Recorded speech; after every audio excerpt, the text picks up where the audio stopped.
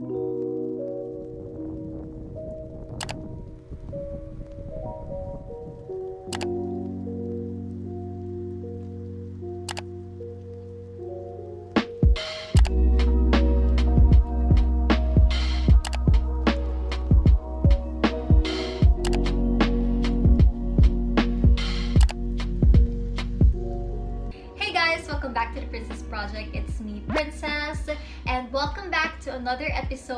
me building my dream closet. So for today's video, we're going to talk about basics. For me, basic pieces are the essential items on your wardrobe. Like sila yung pinaka foundation when you're trying to build your own style, you're trying to build your own wardrobe. So for today's video, I'm going to feature some of my top picks when it comes to basic pieces.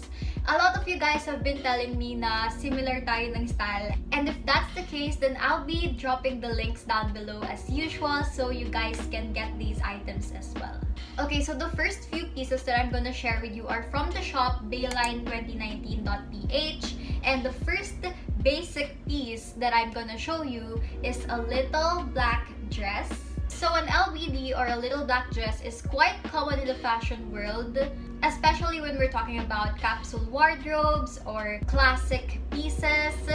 Hindi talaga mawawala yung little black dress. And for this video, I got one. So I got this black dress that you can't really see here, but you can see it on the try-on part. Let the try-on part speak for itself because this dress fits me so nicely. Like this is the most nice fitting dress I own. And the reason why I got this dress is because it has this singeing detail all over the body. And yun talaga yung nagpa-sold sa akin ng dress na to. So this dress is more on the body-hugging, tight-fitting dresses. And if you're looking for a dress like that, I would suggest you go for something na may singeing effect. I do believe that this dress will fit best to the curvy girls out there kasi you have more bust area, more ass. And I unfortunately do not have that. But if you're more of the Kylie Jenner body type or you're just a thick queen, you better get this dress. Kasi the only issue that I have with this dress is the bust area. Yeah, I don't have enough bust area to fill this dress, girl. There you go. I said it. But I'm planning on altering this na lang kasi yung issue lang naman is yung sa bust area. The whole dress itself fits nicely. All in all, I still think that this dress is worth it and I got this dress for only 331 pesos and this is the most expensive item that I got in this haul. Also, I got this in the size small or extra small, I'm not sure, but um, every time na bibili ako from Shopee, I always get it in the smallest size possible. So the next basic for me is a good old rib knit top. Ang hirap sabihin nila. But this top, you see this all over my hauls. Alam niyo naman na when it comes to quality, I always go for the ribbed type of material. Like the one that I'm wearing right now is in the same material as this one. And there's something talaga about this type of fabric na makes the outfit look more expensive, more good quality kesa dun sa mga plain cotton lang. Ito yung mga type of tops na on the go lang. Like, if you're going out, running errands, akala mo naman may errands. But, this is the perfect top for that. So, if you're looking for just a basic ribbed top, this one I got this for only 195 pesos. Okay, so for the next basic, I got myself another corset top. I know nakabili na ako ng isang corset top sa last last Shopee haul ko, but I got another one and this one is more of a basic structure. The thing about corset tops, kung bakit ko siya sinama sa mga basic pieces ko, is all about the fit. When you have a piece of clothing that fits you perfectly, that makes you feel confident, that's your basic piece, girl. And for me, corset top, ever since na nakabili ako ng first corset top ko, I just feel extra confident in it. So I searched for a basic looking corset top that I can use on a daily basis and I found this one. I got this in the apricot color and tinatay lang yung sleeves niya. Actually, yung pinaka-tie niya is ang tawag dito, shoelace. Shoelace lang yung pinaka nagtatay sa kanya. And you can get real creative with this. Like, pwede mong i-replace yung straps niya if you want, like, a different type of look. But the reason why I got this is ang ganda ng fit niya. And when I tried it on, again, let the try on part speak for itself kasi super na in love ako sa fit niya. And yung bottom part niya, pa-triangle yung cut niya. And I feel like that's very flattering for my hips. The back part looks like this one. Tinatay din siya in the back part. And the way that I would wear this is yung pinaka-tali niya dito, hindi ko siya dito i-ribbon. Um, instead, I'm gonna tie it at the back para mas malinis tignan yung front niya. And I would love to pair this with my oversized zip-up jacket. Like, yun talaga yung pinakaunang outfit na na-envision ko when I got this top. So yeah, I'm very excited. So I got this corset top again in the smallest size and I got this for only 248 pesos. So the last thing that I got from the shop is none other than the most basic piece ever. This is your basic black tank top. So I got this top and actually before I bought this, nagbasa ako ng mga reviews as I always do, guys, before buying on Shopee. Please read the reviews. Um, ang dami nagsabi na parang swimsuit yung texture nung fabric niya. So, medyo nag-alinlangan ako sa part na yun. But, um, still, binili ko pa rin siya. And when it arrived, it's not bad at all. Like, natakot lang ako because of the reviews. But when I tried it on, it fits so nicely. I know this is just a basic piece, but I'm freaking out kasi ang ganda ng fit niya. Like, ang ganda ng cut niya sa taas. Ito talaga yung legit na basic black tank top na nakikita niyo sa mga model. Like, when I wore this, I felt like an off-duty model or whatever. Basta yun yung vibes na nakuha ko sa kanya. And it's not really an issue na yung fabric niya is not the usual ribbed fabric. Kasi I tried searching for that. Di ba yun yung mga overruns na nakikita natin sa Shopee? But kadalasan kasi ng mga overruns sold out. And the fabric is still nice. I feel like this is still pretty worth it, especially for its price. I got this for only 121 pesos. Okay, so you guys are gonna be really happy because for the first time, I'm gonna feature pants. Well, it's not really the first time kasi may nareco na ako sa inyo na wide leg pants. But these are denim jeans Okay, so the first thing that I got is this light wash denim jeans. And this is a wide leg type of jeans. And I got this in size 25. And usually my waistline is around 24 to 25. And this one fits me perfectly. Almost perfect. The only issue that I have with this is medyo masikip siya sa thigh part. Especially kapag umuupo sis. Like, the first time I tried this on, I was like, yes, bitch, you're the one. But then, masikip siya kapag umuupo ako. Like, ang weird, like, ang complicated. Like, gusto mo ba ako o hindi mo ako gusto? Please tell me na lang. But I don't really know if I'm gonna advise you guys to size up. Natatakot ako mag-advise mag-size up kasi baka perfect sa inyo to. Kung payat ka na lang, if you're petite-petite, then stick with your size. Feeling ko if makakaupo kayo ng tama dito, you should get it in your size kasi ang dami ko rin nakikita na they got it in their size. But for me lang, talaga masikip siya sa thigh part. I'm sorry. My thighs are thick or whatever. but not gonna lie, I'm still gonna keep this. I'm still gonna squeeze myself in this jeans kasi ang ganda talaga ng fit niya. So the next pair of jeans that I got is this one and I got this in a size 26 and nag-size up na ako for this one. I know na hindi na siya mag-fit sa waist ko. What I did na lang is naglagay ako ng shoelace sa likod niya. Yun yung natutunan ko sa TikTok. And luckily it works hanggat hindi ko pa siya napapa-alter. Ganun muna yung gagawin ko. Yung fit sa akin ito is more on the baggy type. So if you're into that style, ayun, nag-size up lang ako and then nakuha ko yung effect na yon. And also, I got this in the basic blue color hindi ako sanay kasi usually yung mga binibili kong jeans more on the light wash siya. So ito yung talagang denim blue. Parang denim blue ata to. Um, I'm just gonna leave the variation kung anong color yung nakuha ko for these pants down below in the description box.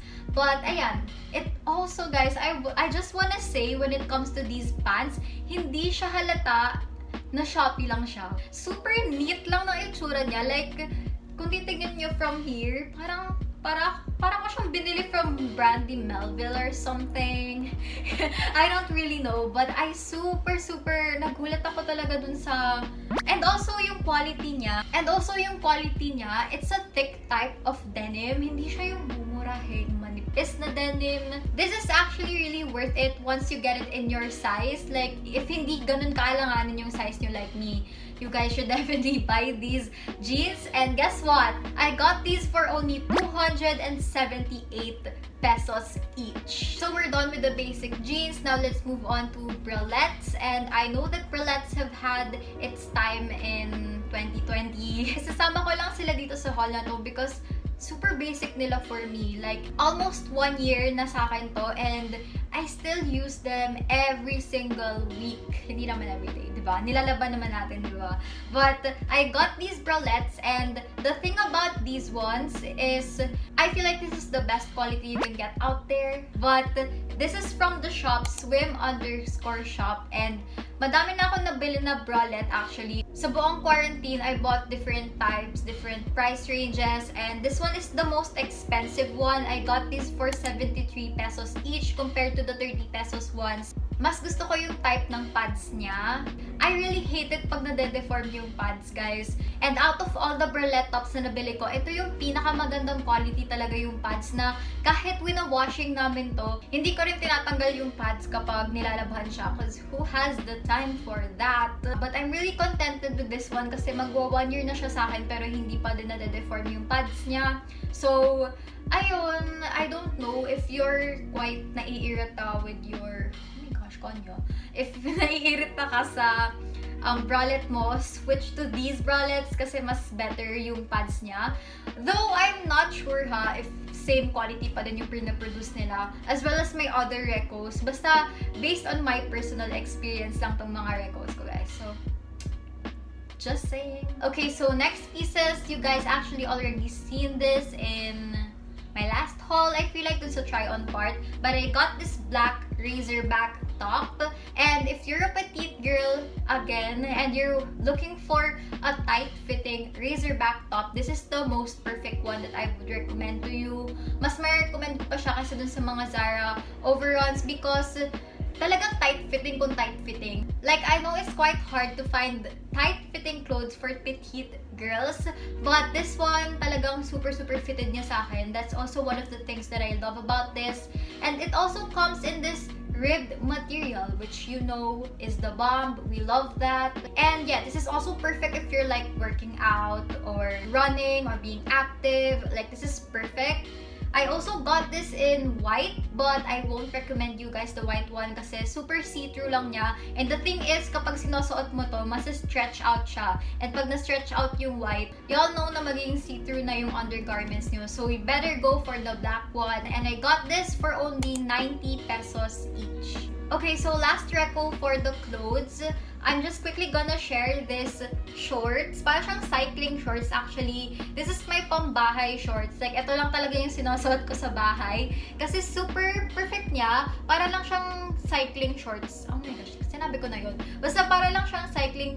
The thing that I like about this is Usually kasi kapag nasa bahay ako, laging naka-oversized shirt lang ako. And I feel like this is a perfect for those. And I swear, super comfy lang din niya. Meron lang siyang parang band dito sa waist area. But hindi siya ganun ka-suffocating. For me, ah, um, comfortable pa rin ako dito. And this is perfect for working out. If you're like working out on a daily basis, Ayan.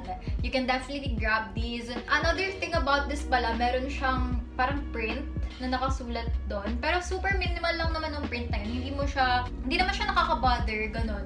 So, I actually have three pieces of this shorts. Like, ito lang talaga yung suot ko sa bahay. And I got this for only 89 pesos. Okay, so let's now move on to the accessories part of this haul. Actually, I got a few accessories and hindi naman sila super like basic accessories that you need.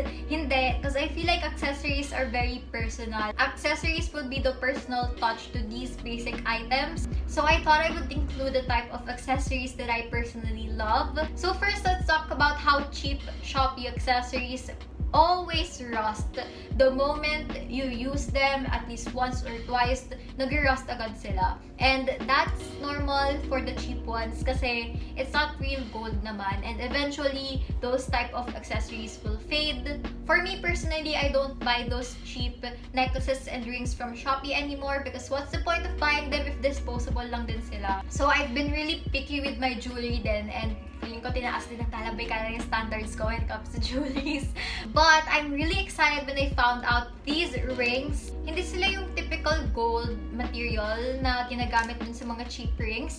They're actually in beads, guys. And I know beads have been a trend recently. Ako nga gusto ko bumili ng beads set talaga. Wala na akong pera, guys. Don't skip ads. But yeah, papakita ko sa inyo isa-isa tong mga rings na binili ko. First, I got these super cute dainty bead rings lang. I got two of these. I got them for 40 pesos each. And what I love about them is super dainty ng itsura niya and I'm sure na hindi siya mag-rust because it's beads, guys. So this is what it looks like. Nilayer ko lang siya on top of my TBK ring. And it's so perfect, you guys. The next ring that I got is this one. And ito naman, meron siyang heart detail sa gitna. Ayan, it looks like this one. I got this one for 53 pesos. The next one that I got is this one. Ito yung favorite ko, guys. Medyo mahal siya. I got this one for 80 pesos. But if you see this in person, you guys, super ganda nung pearls niya. Para siyang totoong pearls. Like, I swear, hindi siya mukhang beads type of pearl. Para siyang tunay na pearls, guys. I am so obsessed with this. Super ganda nila i-layer. Really, the reason why I got them is for layering purposes. Like, para i-layer ko sila on top of my TBK rings. So, this is the last one and I am obsessed. This last one is parang meron siyang stone sa gitna. And ito talaga yung pinaka-inihintay ko. This one is only for 55 pesos, you guys. Super worth it nila. Super dainty na itsura nila. Sobrang cute. Like, if you're gonna buy one item from this haul, definitely these rings, guys. I am obsessed with them. Okay, so throwback to my first ever Shopee haul. Na-mention ko tong shop na to doon. And it is the shop called ddfistore.ph. And I went back after a year and I bought some stuff. And actually, ang binibili ko lang doon is earrings. And a tip for you guys, if you still can't afford investing in good quality jewelries and accessories, and if gusto niyo talagang bumili ng cheap accessories from Shopee, go for earrings kasi mas unlikely sila mag-rust kasi hindi naman sila ganun napapawisan unlike our necklaces and our rings. And actually, the one that I'm wearing right now, itong hoops na to, This is almost a year na sa akin and hindi pa rin siya ganun nag-rust. Actually, nag-rust siya ng onte. Hindi ko siya inalagaan. Ito pa yung mga times na hindi ko pa inalagaan yung jewelries ko. But still, nagagamit ko pa rin siya up until today. And so, I bought a few more earrings. The first thing that I got is this Chanel-looking earrings. Actually, hindi naman talaga siya exact copy ng Chanel because I don't like to go for that, you know. Um, para lang siyang inspired by Chanel. Para siyang may dalawang CC, but in reality, parang dalawang bilog lang siya na nag-crossover.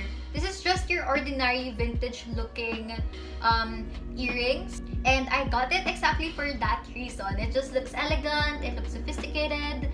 I don't want to describe it anymore kasi I always say classy and dainty dito sa channel na to. And I'm trying to um, expand my vocabulary. But anyways, I got this. And I got this for only 59 pesos. The next thing that I got are these hoop earrings. And of course, what's new, they're pearls. Actually, fun fact, some of you guys are messaging me that you started liking pearls because of me.